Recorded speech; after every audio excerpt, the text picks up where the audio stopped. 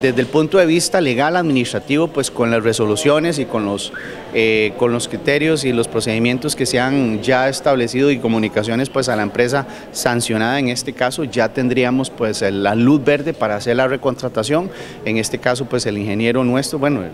el, que está a cargo desde un inicio del proyecto, que es don Ronnie Rojas, pues ya está en el planteamiento de la recontratación. Así lo confirmó el alcalde Jeffrey Montoya. La calle Los Almendros, en las cercanías de la iglesia El Calvario en San Isidro del General, volverá a licitarse tras los múltiples inconvenientes con la empresa anterior.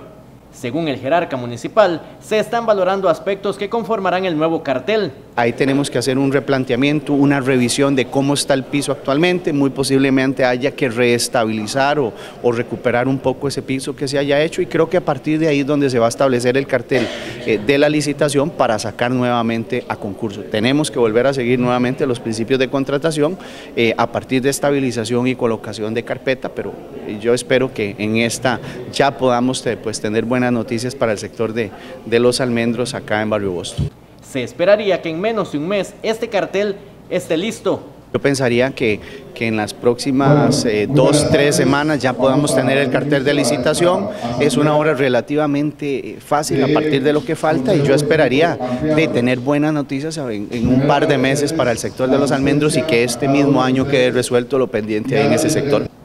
y es que la calle Los Almendros es uno de los grandes pendientes de la administración actual. Ha sido el punto negro, desde el punto de vista de todos los proyectos que hemos desarrollado en cada una de las líneas, pues ha sido el punto negro, definitivamente. un, proyecto que fue adjudicado precisamente con el primer desembolso que recibimos de la nueva ley de 8114 al cierre del 2016, o sea, eh, ya es un proyecto que, eh, cuidado y si no, en el momento en que se vaya concretando, ya vaya a cumplir sus, sus tres años aproximadamente, así que pues da una pena eh, y lamentablemente que ese punto negro haya sido para un sector tan céntrico urbano como es eh, eh, los almendros de Boston.